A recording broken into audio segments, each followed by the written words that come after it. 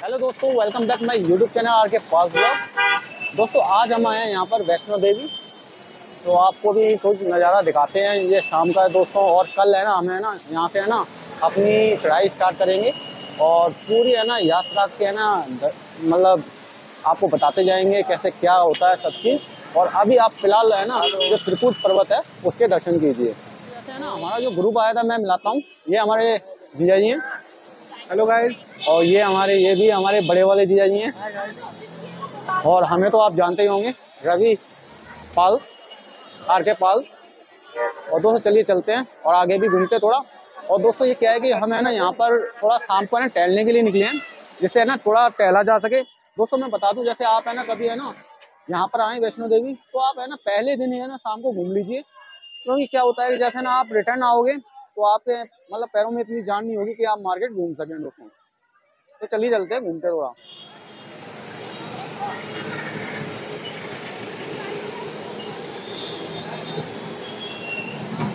दोस्तों, ये त्रिकुट पर्वत है। यहाँ पर है माता वैष्णो देवी। ऊपर जाकर उन्होंने विश्राम किया था, जब भैरव बाबा उनके पीछे पड़े थे। तो उन्होंने ना, वहाँ पर है ना, नौ नौ महीने तक वहाँ पर है ना, विश्राम किया था। और फिर उसके पश्चात वो वहाँ से निकली थी और भैरव बाबा का उन्होंने वध किया था। तो दोस्तों, ये काफ़ी प्राचीन कथा है, जो आप जानते ही होंगे। और दोस्तों, हम जहाँ पर खड़े हैं, उसे है ना कटरा कहा जाता है। कटरा दोस्तों, एक आप है ना जिला भी कह सकते हैं, जम्मू कश्मीर है जैसे। उसमें है एक जिला आ जाता है कटरा, जहाँ पर है ना माता वैष्णो देवी का ये मंदिर स्थित है। और ये कटरा के मेन चौराहे की झलक आपको दिखा रहे हैं हम। यहाँ पर कितनी सारी चहल पहल है, आप अपनी आँखों से देख रहे हैं।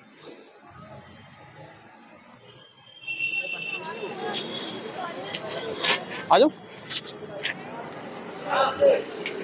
दोस्तों, ये कटरा की मार्केट है।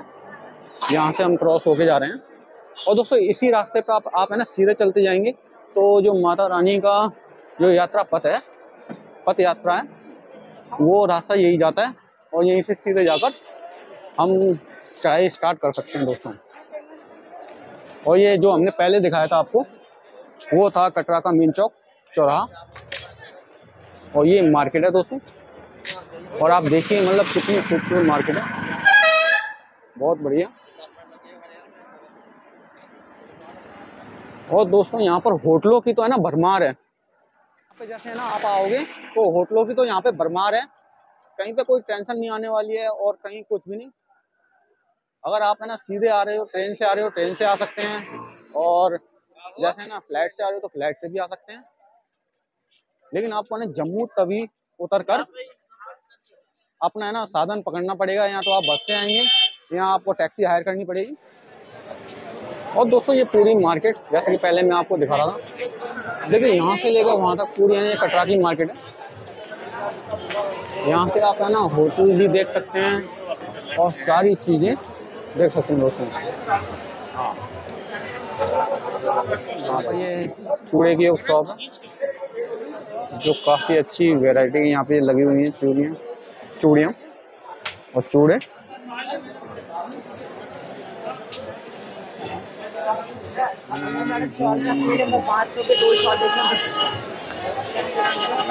दोस्तों, ये हमारी फेस वन की वीडियो है।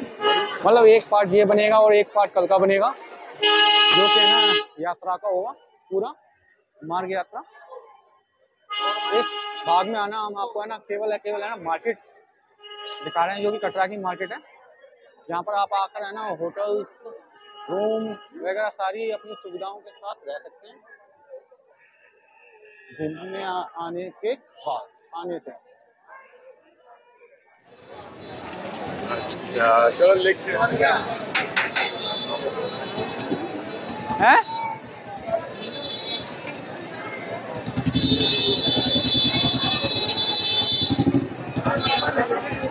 दोस्तों मार्केट में सजावट भी गजब की है दोस्तों। दोस्तों ये थी हमारी वीडियो। जो कि है ना, जिसमें है ना, हमने ना आपको है ना कटरा के दर्शन कराए चारों तरफ़ घुमाया और मार्केट पूरी दिखाई दोस्तों। और ये वीडियो आपको कैसी लगी हमें कमेंट लाइक और सब्सक्राइब ज़रूर कीजिएगा सब्सक्राइब मिलते अपनी अगली वीडियो में पार्ट टू में। जय हिंद, जय भारत दोस्तों।